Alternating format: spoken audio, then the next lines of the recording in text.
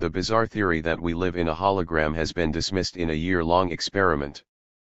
The holographic concept has been likened us being characters on a television show who do not know that our seemingly 3D world exists only on a 2D screen. The information about everything in our universe could actually be encoded in tiny packets in two dimensions, theoretical physicists say.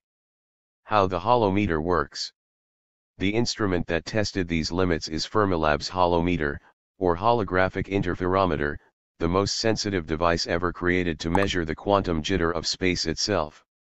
The holometer, below, uses a pair of interferometers placed close to one another. Each one sends a 1 kilowatt laser beam, the equivalent of 200,000 laser pointers, at a beam splitter and down two perpendicular 40 meter arms.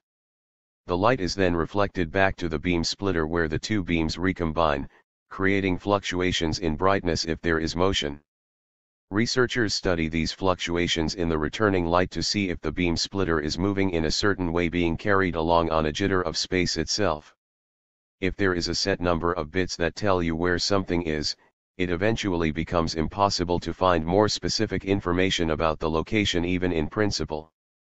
The instrument that tested these limits is Fermilab's holometer, or holographic interferometer, the most sensitive device ever created to measure the quantum jitter of space itself. For the past year, it has operated on full power, using a pair of interferometers placed close to one another.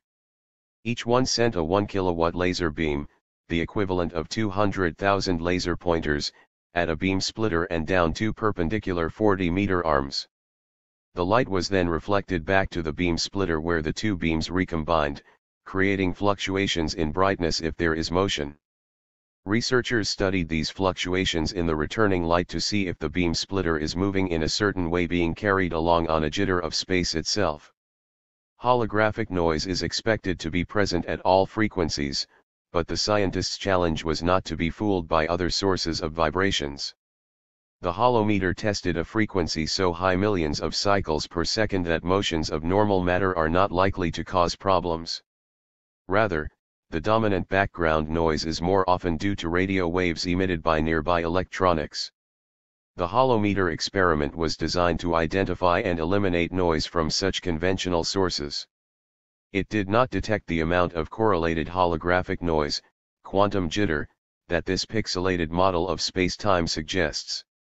But as Hogan told Symmetry, this is just one theory, and with the holometer, space-time can be probed at an unprecedented level. This is just the beginning of the story, Hogan said. We've developed a new way of studying space and time that we didn't have before.